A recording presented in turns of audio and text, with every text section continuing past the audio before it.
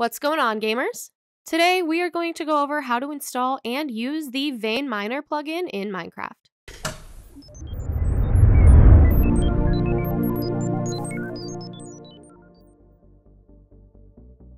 Before we get started, don't forget to like, subscribe, and click that notification bell to stay up to date on all future videos. As we all know, mining is a massive part of the Minecraft game. I mean, it's literally in the name. But while it's important, that doesn't necessarily make it any less tedious. This feeling tends to grow as you progress in the game, since eventually you would much rather be putting your time into building or exploration instead of searching for ores. While there are plenty of ways to solve this issue, one of the best is with Vein Miner. This plugin allows you to mine entire ore veins, trees, crops, and more in a few simple commands. Let's go over how to get started so you can start streamlining your gameplay. Visit the Vein Miner Spigot page and press the blue Download Now button to the top right, and then save this new file into a separate folder because we're going to need it in just a minute. If you're looking for some older versions, you can also check the legacy download links slightly lower on the page. The first legacy download is for 1.13 to 1.16, and the second is for 1.8 to 1.12. But these versions are outdated, so they will not be getting any more updates in the future. Head to your Apex server panel and stop the server, and then scroll down to the game file section and make sure you're running a plugin compatible server like Paper or Spigot. Afterwards, enter the FTP file access from the left hand menu and log in, and then enter the plugins folder, and on the next page, press upload in the top left. Drag and drop the jar file into the right hand side and once it has 100% uploaded, you can use your server name at the top of the page to return to the main panel where you can restart the server. Once you spawn into your world, you are automatically able to begin using Vein Miner. To start out, the plugin is only going to work with certain blocks, but of course this can be changed through different commands.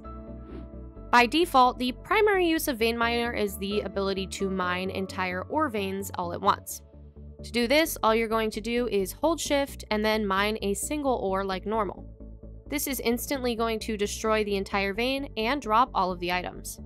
That being said, your tool durability will drop as if it were all mined one at a time, so keep an eye on it. If you want the plugin on your server, but you don't want it enabled 100% of the time, then you can choose the VM mode command to choose when it's able to be activated. If you're using Fabric, you can also get the Fabric Companion mod, which is where client mode will allow players to set custom keybinds to toggle Vein Miner on and off. By default, Vein Miner restricts which blocks can be mined with each tool. For example, pickaxes can generally only bulk mine ore instead of other blocks. By using the Vein Miner block list command, you can actually specify adding new blocks to the list. If you're looking to save a lot of time, I recommend adding things like stone to your list, since that'll help you do things like quickly find your way out of tunnels. Speaking of tunnels, Vein Miner also includes different patterns which can be beneficial in different situations. Normally, Vein Miner will try to remove as many compatible blocks in an area as possible. While this is helpful for ores, it's less so for making large tunnels. Using the Vein Miner pattern command will allow you to select a new shape. This includes the default, staircases, and even a 3x3 tunnel. Of course, while ores might be the main pull of this plugin, it actually works on so much more. It also has support for a variety of other tools, including axes, shovels, hoes, and more. For example, axes are going to work great for logs, and hoes will work best for crops. Here is a list of some of the commands and permissions that you could mess with when using this plugin. Of course, like always, this list will also be available in our guide linked down below. If the plugin isn't working, use the forward slash plugins command to make sure that it's even working in the game. If it's not there or if it's listed in red, make sure the plugin is in the correct plugins folder in the console and that it's the correct version.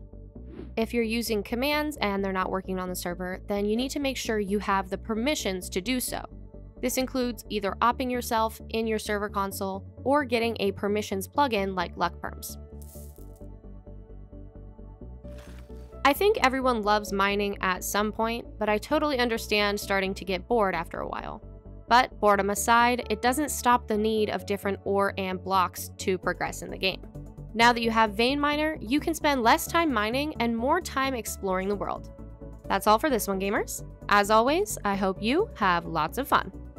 Thanks for watching. If you want to see more great content like this, then subscribe or click these videos. Until next time, gamers.